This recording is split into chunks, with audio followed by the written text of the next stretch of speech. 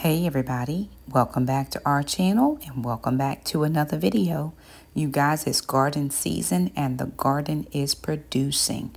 I'm so excited to show you my produce that the kids and I have worked really hard to uh, to grow. And so since it's garden season and the tomatoes are looking fabulous, we're getting ready to make some salsa. I want to home can some salsa that's a little thinner than the last one I did. Thank you so much to Amzchef for sending me their professional blender. You guys, I'm excited to open this up. Now, I did a chunky salsa the last time I did one, but I want one that's a little bit less chunk, more smooth. And of course, my blender does not do what a professional blender would do, and my children keep breaking the blender. So again, thank you to Amzchef for sending me their professional blender.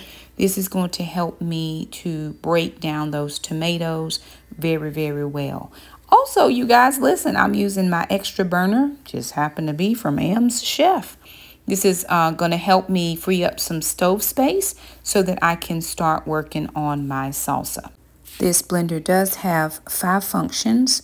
It is used for smoothies. You can do ice crush, puree, blend, or pulse. Because I had so many cherry tomatoes and I was not skinning all of these, I chose to do a puree to try to make sure that we got this as fine as we could. And so I was excited to be able to use this. So I did a first pass through. It's still pretty chunky. We're going to come back in just a second to further puree this down. I'm now putting in my onions. This is a very simple uh, salsa recipe. I just found it online using Google. So two and a half cups of onions and I'm going to also do the same using that puree function and it makes quick work of those onions and then I just put those into the pot as I was getting ready to uh, work with the um, the tomatoes again. So I'm going to put all the onions in and then I am going to go back in with the tomatoes so that I can give them another pass through um, on the puree setting so that I can make this as smooth as possible. Now I wasn't loving the color of this because I, I've used, you know, the yellow uh, tomatoes, the red ones, as well as some of the lighter green ones. And um, I'm just going to put nine cups of tomatoes in. I think I needed to add some more. I didn't have quite nine cups. And so I did have to use a few more uh, tomatoes. So here, these garlic scapes came out of our garden. And I was happy to be able to use those scapes. I did puree those as well. Here I am just taking out our warm jars because we're going to put a warm salsa in these jars to can. And um, I broke that uh, salsa down for about 20 to 30 minutes. It's probably still a little thicker than what I might like, but um, the color was pretty after I added in the um, tomato paste. So here I am just filling up my jars. I wish I had smaller jars, but I figured for a good size salsa, you need about a pint jar. I didn't have any smaller ones. This is what I do have. And so again, we did add a little bit of spice. We added the peppers from the garden. And um, we did break those down in the blender as well.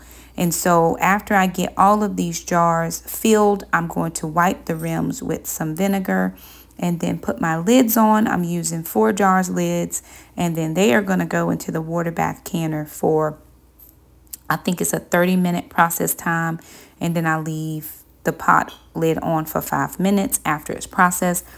All except that last one, that very small one, um, sealed. I don't know if Jackson gave me a brand new lid or not, uh, but that was the only one that didn't seal. We put it in the fridge and we'll use it in some of our cooking. So everything in for a five minute process time and all will be well. Um, what I did do was make sure that before I used the blender though, I cut those you know, ingredients down a little bit smaller because I used cherry tomatoes. I didn't have to cut those at all. But this is what happens after a 30 minute process time with five additional minutes. Our salsa is ready to come out of the canner and it's nice and smooth or smoother than my, my last one. Now, to not be outdone, this does have an ice cream feature, and Jackson wanted a milkshake type of thing. And so we wanted to make sure that you all were able to see that this does ice cream very, very well. And um, here it is again. If you're interested in this Amzchef Professional Blender, there will be a link down in the description box below.